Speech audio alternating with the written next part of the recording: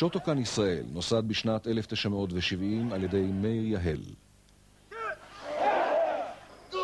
מאיר, מורה בעל תואר וניסיון בחינוך גופני, ומומחה לקרב מגע. נסע לאירופה ללמוד אומנות והתוודע לאומנות הקראטה בפריס, שם הצטרף בשנת 1964 לקבוצת המתאמנים הקטנה בראשות דניאל שמלה, שהפכה עם הזמן לשוטוקן צרפת. קבוצה זו התאמנה החל משנת 1961 בהדרכתו של השיהן, המוביל, סנסה צוטומו אושימה. First of all, I don't consider this is uh, made in Japan. This is universal uh, martial arts. If somebody asks what is Shotokan's specialty, I mean special feature, I can say that uh, um, we are following very honest and strict uh, master, Master Funakoshi's mental attitude, which is strict not to others, to ourselves.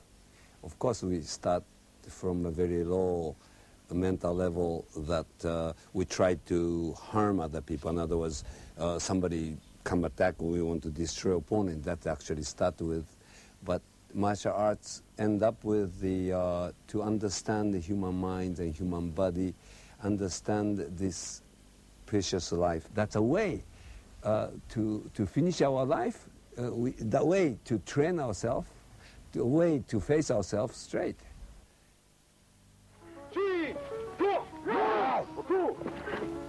בתוכנית הראשונה ששודרה בטלוויזיה הישראלית על אומנות הקראטה, אמר מאיר.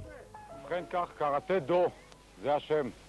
הפירוש המילולי, למעשה קראטה ביפנית, מורכב בשני עברות, קרא, ריק, תה, יד. הכוונה היא, היד זה כוונה היא לחלק הגשמי של הגוף, והקרא הריק, הכוונה היא לחלק הרוחני של הגוף.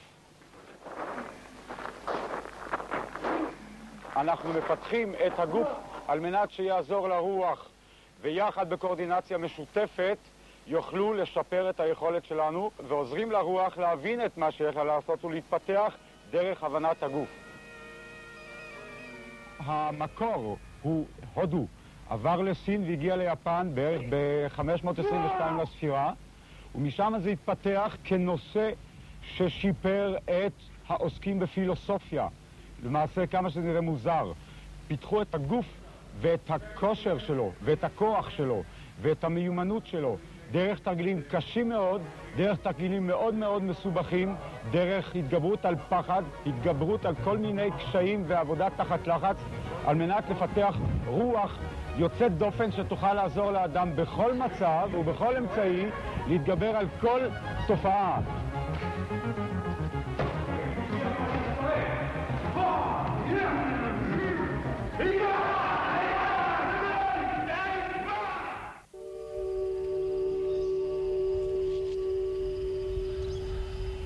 באימון מיוחד בקיץ 1993 סיפרו ותיקי האגודה על השנים הראשונות ועל התפתחות שוטוקן קראטדו בישראל.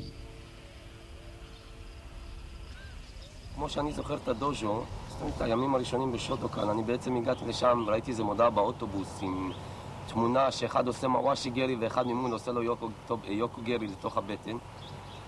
וזה היה פרסומת שרצה אז באוטובוסים של דן בתל אביב. והיה כתוב הכתובת והכל, וניגשתי לשם למחרת בבוקר, זה עוד היה סגור, זה היה מוקדם.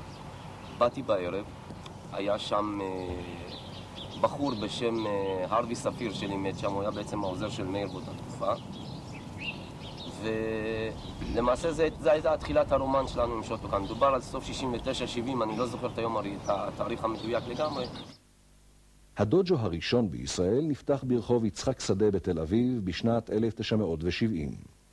בקבוצה שהתאמנה בדוג'ו זה התחילו את דרכם בכירי האגודה, אריה לוי, זאב מנזלבסקי, חיים תמר ורפי יקר, ואליה הצטרפו מיקי דותן ואשר חן שהיו אז נערים. זה היה דוז'ו מאוד קטן יחסית לדוז'וים שיש היום בארץ. היינו לא היינו יכולים לעשות יותר משלוש תנועות, לא ידענו לספור יותר משלוש, כי אחרי שלוש היינו עושים קייטה, עד איץ' ניסן תמיד ידענו. והייתה אווירה מאוד חברית, מאוד טובה. זה בעצם היה קראטה בחיתולים, על כל דבר שהיה היה חדש, לא כמו היום. בשנת 1972 עבר הדוג'ו למרתף ברחוב אלכסנדר ינאי בתל אביב.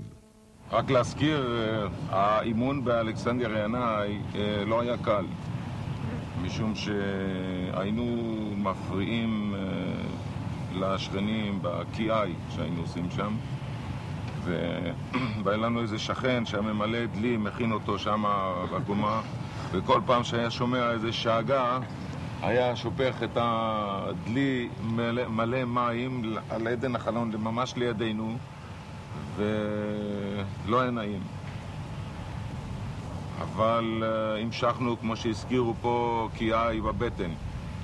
כבר אז uh, למדנו לעשות קיאי חלש. באותה שנה הצטרפה למתאמים בדוג'ו תל אביב קבוצת סטודנטים מהאוניברסיטה העברית בירושלים, שבראשה עמד מאיר גנאור, שהיה בעל חגורה שחורה משיטת קראטה אחרת. אומרת, אתה שאלת איך הדברים האלו מתחברים, קראטה, שבעצם יש לי חגורה שחורה מקראטה, ופילוסופיה, שעבדתי הרבה שנים בזה ויש לי PhD בפילוסופיה, וגם כן דת, שאני ממשפחה דתי ואני בעצמי דתי. אז קודם כל אני רוצה להגיד שמאוד חשוב בפילוסופיה הקשב, מפני שזה מאוד חשוב להבין מה שמישהו אומר לך. בקראטה אנחנו שמים לב במיוחד לנושא של קשב, במיוחד בנושא של קרב, שאתה תמיד צריך להיות ער למה שהיריב עושה.